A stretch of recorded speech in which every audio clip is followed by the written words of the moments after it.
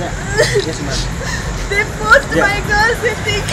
I don't know where they've taken our girls. This is an issue whereby there was uh, allegedly a claim that some girls were being mistreated and that they were being tied up in clubs without uh, permission and uh, they were not willing and that they were being trafficked. Officers uh, from CID came, went to Shama Bar, Shama Bar and they arrested uh, the owners of the Shama Bar and they arrested also the 10 girls who were there. Three girls are Indian nationals who have already, when they saw this kind of pressure, decided to go back home. They had no complaint. The, the case has been filed, they're supposed to be the witnesses, but they've already left. The Indian High Commission has even confirmed that. Seven girls are Nepalese girls. These girls have got permits, the permits are proper. Even the investigating officer in court admitted that they, they have a, a proper working permit and where they're supposed to work.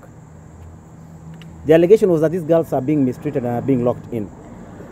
But these officers again contradict themselves when they say that these girls were found where they were working, which meant they were not being locked anywhere.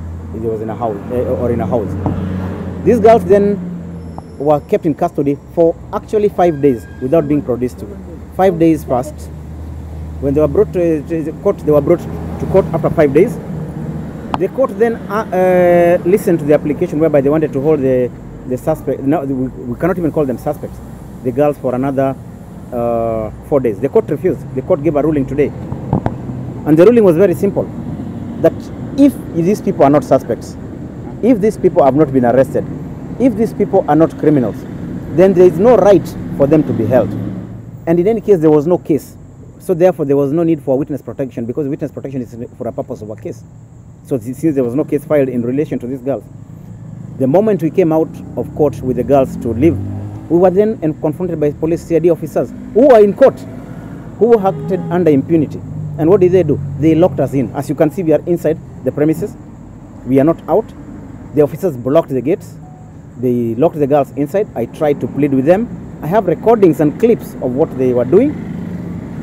They then now went and called some other officers, reinforcement. They brought four officers to arrest seven girls. When the court had declared that these people had no offense, when the court had declared that these people needed to be set free, why were the policemen arresting them if they are not suspects? I spoke to the Inspector General himself.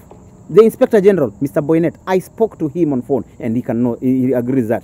I told him that this was impunity. I told him we have been locked in. And until this moment, he has done nothing yet.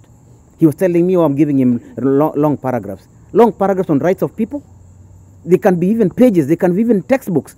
But if rights of persons are being infringed, it does not matter whether it's a paragraph or one word. My name is Zebadin. I'm the daughter of Shamadin and Javeddin, who are right now at Nyali police station, arrested for a, for a false case that is that they've stated is human trafficking.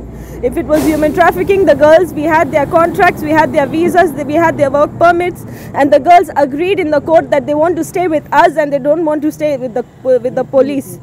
They want to continue working. Wait, let, let her finish and then I speak. they want to continue working with us but these police officers they as soon as the magistrate said that uh, they are released we came out and these guys appealed to the high court and they didn't let us go. We were locked over here.